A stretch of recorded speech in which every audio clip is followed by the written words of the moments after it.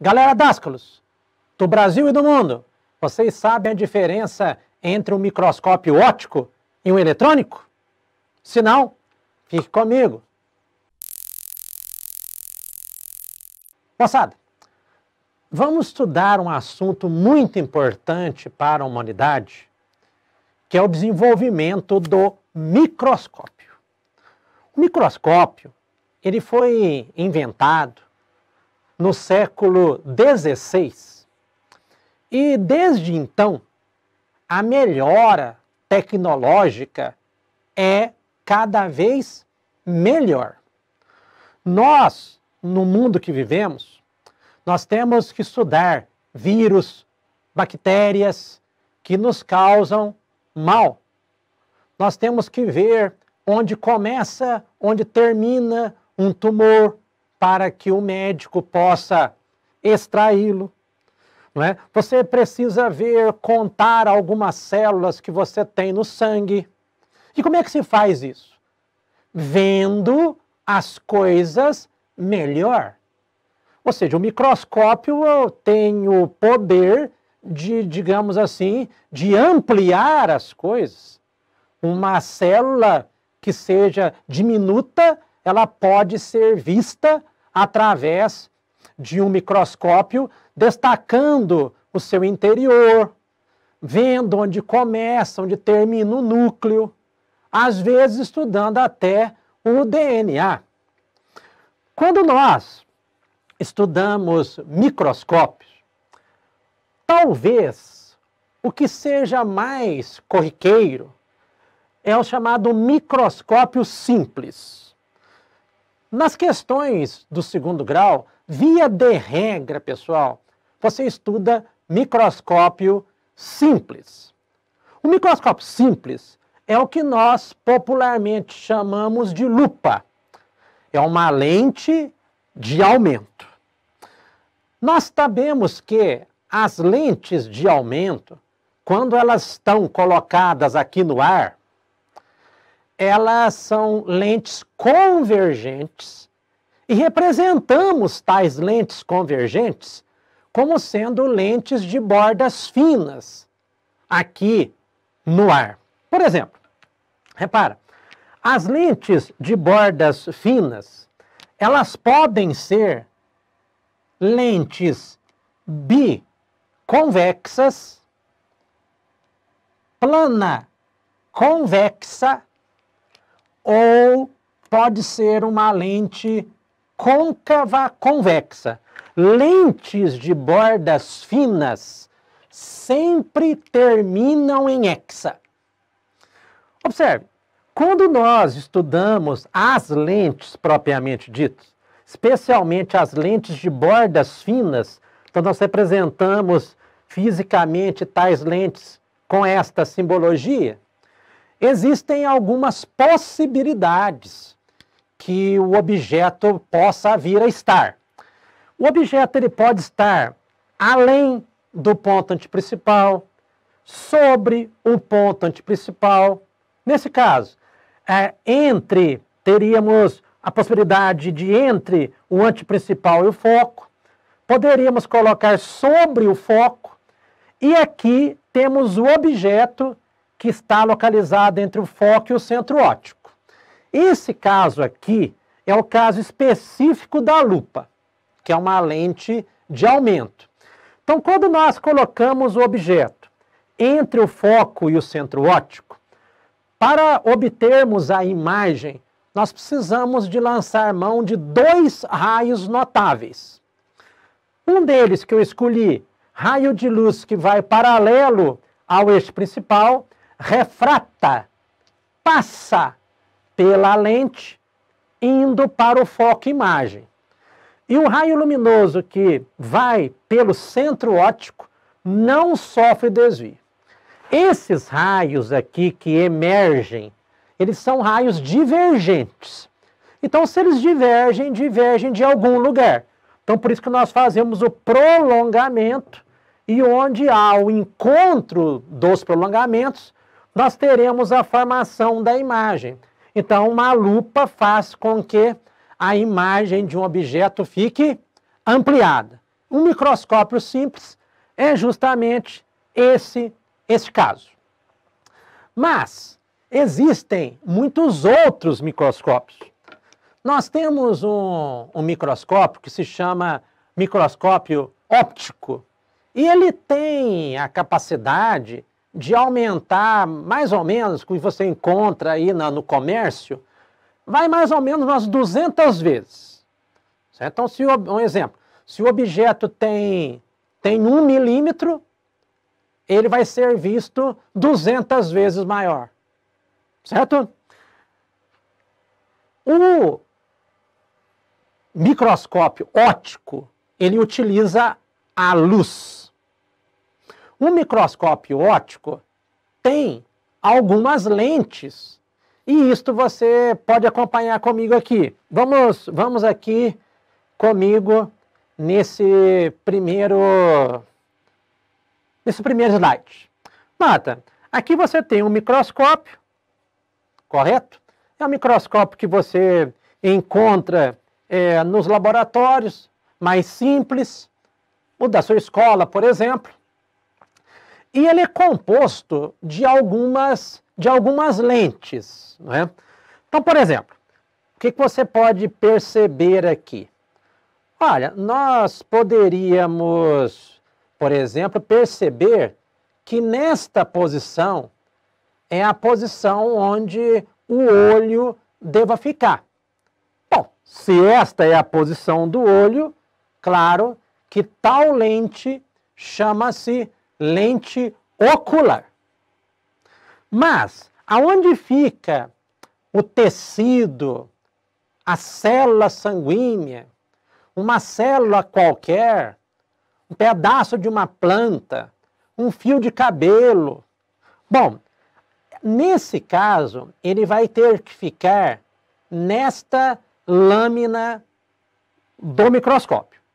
Então, perto desta, desta lâmina, a lâmina é o objeto que você quer ver. Então, você usa uma lente especial que se chama objetiva. Bom, esses microscópios, quando você vai fazer um desenho simples, né, ele funciona desse jeito aqui, pessoal. Você tem aqui o desenho clássico né, de uma representação de um microscópio.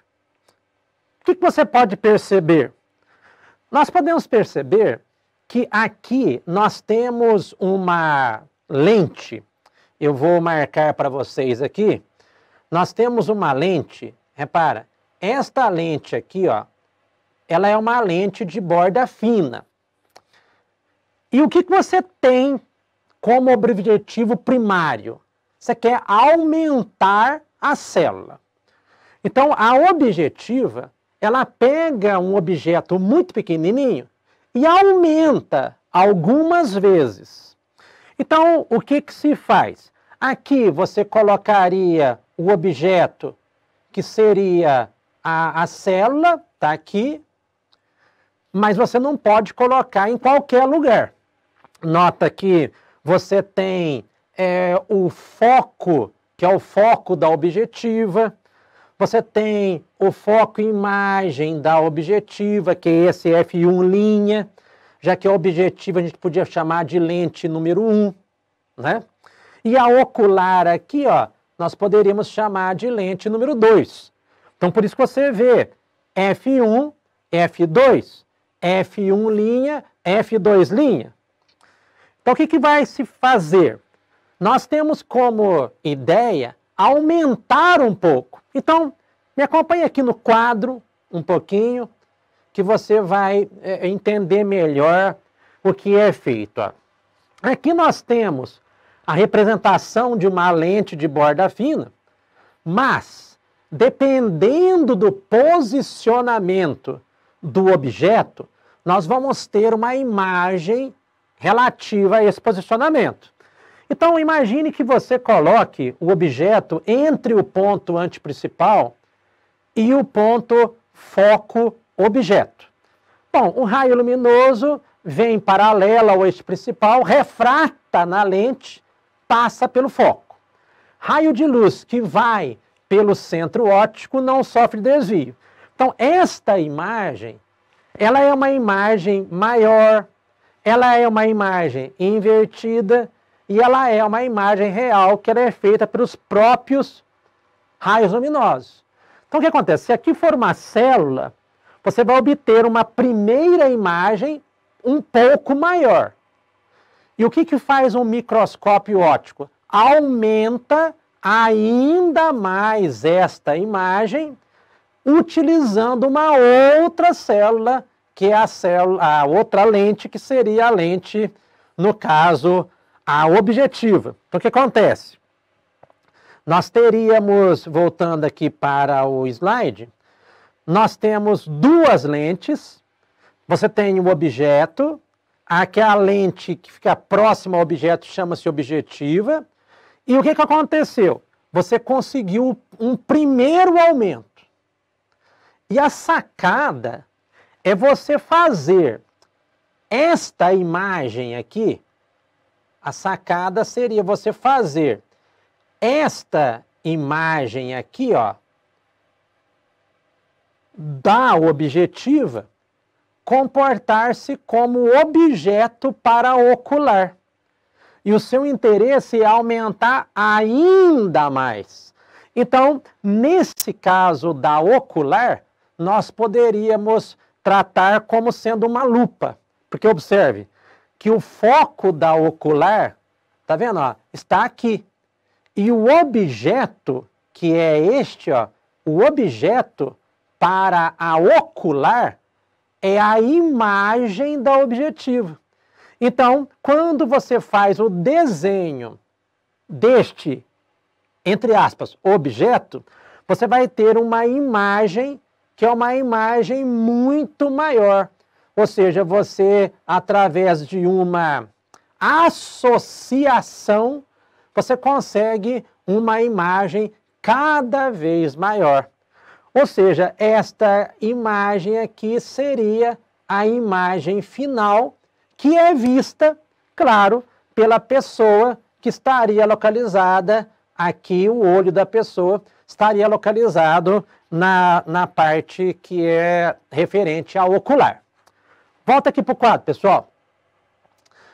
Olha que interessante. Com o passar dos anos, dos séculos, a tecnologia veio e veio para ficar.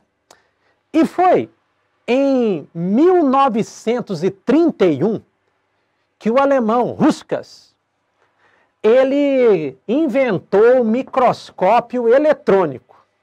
A diferença entre o microscópio eletrônico e o óptico, que é aquele que a gente acabou de ver, é que o óptico usa a luz, mas o eletrônico não usa a parte associada às lentes.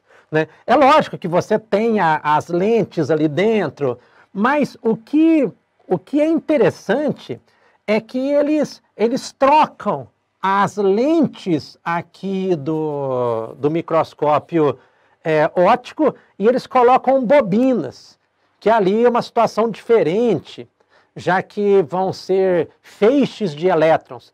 E aí sim, esses microscópios, eles aumentam milhares de vezes. Isso é muito importante para a medicina, porque ela vai poder localizar, por exemplo, exatamente onde está o tumor, onde que ele começa, quais células estão, é? Então, a tecnologia do microscópio é muito importante no nosso dia a dia. E aqui está, volta aqui, por favor, para o slide comigo. Repara que aqui está a foto de um microscópio eletrônico. Reparem que ele é muito diferente né, do, do normal. Obviamente, o preço também ele é astronômico, né, perto dos microscópios que nós temos no dia a dia. Bem, pessoal, retorna aqui comigo, tá certo? É, a parte de microscópio é muito importante para o desenvolvimento, para conhecer a forma do vírus nessa época de pandemia. Então, eles estão estudando o vírus da, do Covid-19 com certeza a fundo. Então eles têm que ver qual que é a proteína, onde que começa, onde termina. Daí a importância da tecnologia no nosso dia a dia. Pessoal, se você gostou, deixe o seu joinha, ative o sininho aqui para receber as nossas notificações e inscreva-se no nosso canal. Um abraço!